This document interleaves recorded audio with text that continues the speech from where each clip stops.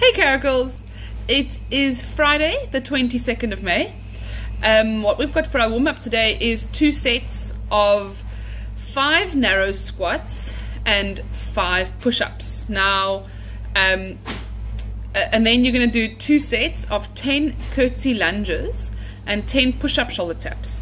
So the curtsy lunges is a new movement. Make sure you check it out in the description, the link in the description.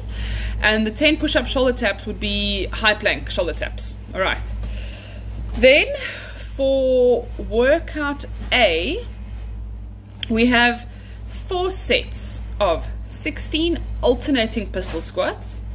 Then you rest 30 seconds. And then you have four to five one arm push ups. And then you rest one minute.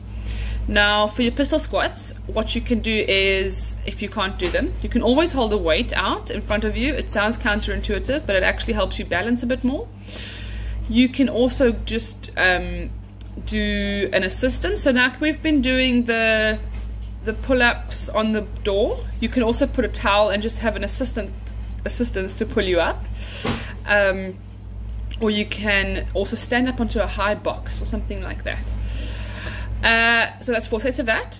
And then workout B is two sets of 150 double unders or 250 single unders. And then you've got a 21, 15, 9 push ups and box step overs. So that's a lot of double unders. Make sure that you're finished. Don't shy away from the doubles. So even if you can't get them yet, then try then try to do them and whatever's finished with you can end with singles. So um, you just double up your the end of your singles even though it isn't quite double. Um, and then also if you don't have a rope or if you haven't got a space to jump then do your double taps. Um, so for your stretching afterwards you're going to have to do some crab stretches because of all the push-ups. Your chest is going to be nice and tight.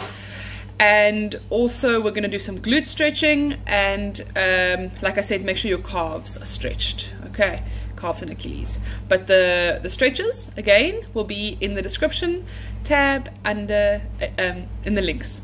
Okay have an awesome workout and please let us know how it goes. Cheers